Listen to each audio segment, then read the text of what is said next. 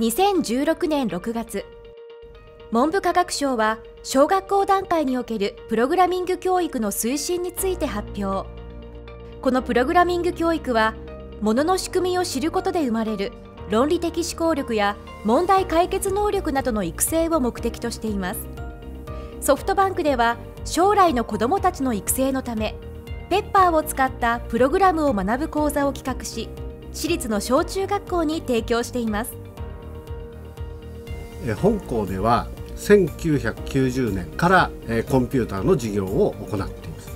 画面に映る2次元のプログラミングの結果で判断していましたが今回はペッパーくん3次元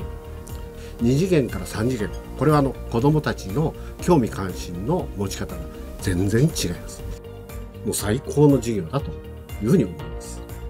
本授業では実際にファミリーレストランでの接客や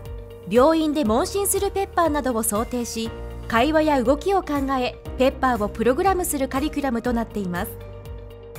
その過程でさらに協調性や役割分担リーダーシップなども学ぶことができます。トラブルとかもあるけどそれが楽しくて頑張ってどう調節するかとかを考えて。ボックスっていうのを使うときに結構大変でした。